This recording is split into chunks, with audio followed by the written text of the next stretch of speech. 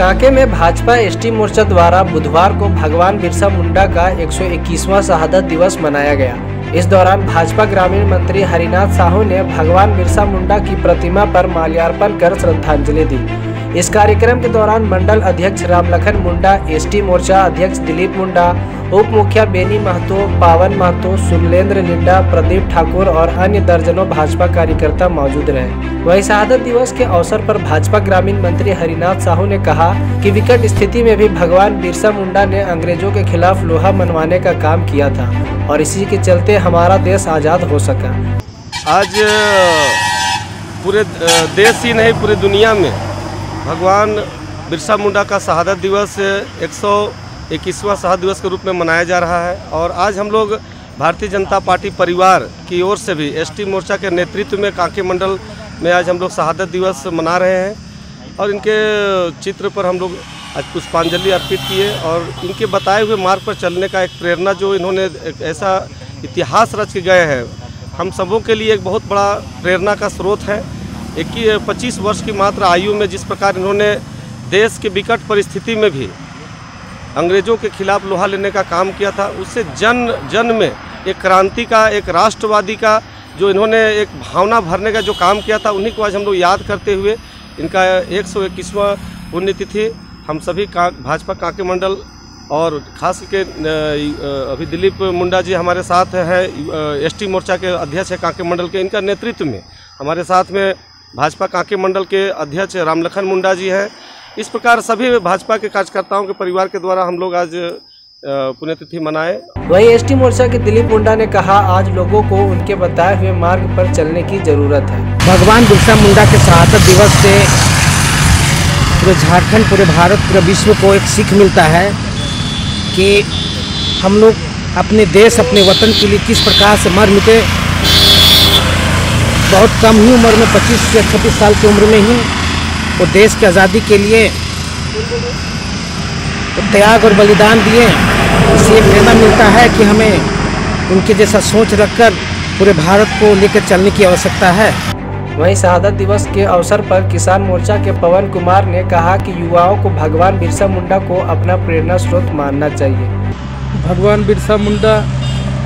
हम लोग जैसे नौजवानों के लिए मैंने प्रेरणा का ही है, जिस तरह उनका शहादत हुआ, हमारे ही रांची मतलब क्या, रांची के ही जेल में उनका शहादत हुआ था, आज आज भी वो कैमरा वहाँ पर मौजूद है। युवाओं को उससे प्रेरणा लेनी चाहिए, वो जिस युवा में मतलब 25 20 से 25 साल की उम्र में उनका जो शहादत हुआ, वो देश के लिए अपना बलिदान अपना जो भी जान नछावर कर दिए इसी तरह हम लोग जैसे युवाओं को भी उसके बताए हुए बताए हुए मार्ग पर चलकर अपने देश के विकास के लिए, अपने समाज के विकास के लिए, अपने गाँव के विकास के लिए, अपने राज्य के विकास के लिए उन्हीं के बताए हुए हुए मार्ग पर चलकर हम लोग को भी आगे बढ़ना है और अपने समाज को आगे बढ़ाना है अपने देश को आगे बढ़ाना है। झारखंड ही नहीं, पूरा हिंदुस्तान में आज भगवान बिरसा मुंडा धरती आबा के नाम से जाने जाते हैं। जो आज जन जन के, सबके दिल में जिस तरह के ऊर्जावान,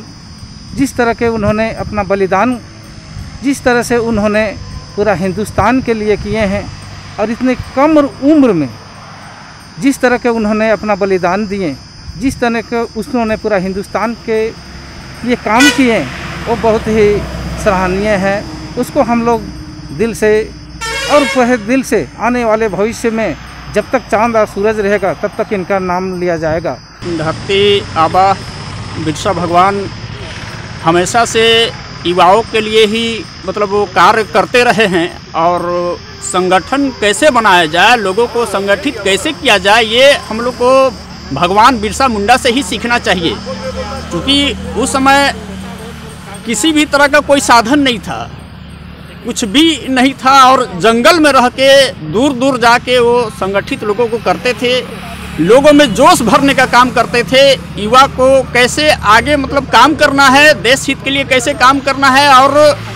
कैसे मतलब आंदोलन में बढ़ चढ़ के हिस्सा लेना है, इसके मतलब लिए जोश भरने का काम करते थे युवाओं को और निश्चित तौर से युवाओं का एक बहुत ही मतलब प्रेरणादायक मतलब बिरसा भगवान रहे हैं। आज युवा हमेशा मतलब उनको याद करेगा और याद करता रहेगा। कर जा में डुबल है किसान, जानत रहे